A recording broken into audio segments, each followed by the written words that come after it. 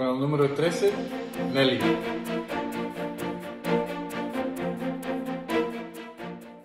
Con el número 19, Andrea. Con el número 21, Sheila Piccini.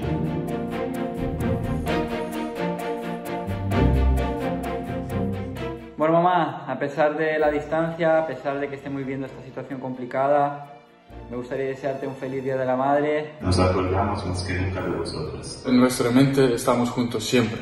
Y queremos felicitar todo el día. Agradecer todo el cariño y, y el apoyo que siempre me das. Eh, te quiero muchísimo y estoy seguro que pronto vamos a estar juntos. Gracias por estar siempre ahí. Pronto nos abrazaremos. Amor.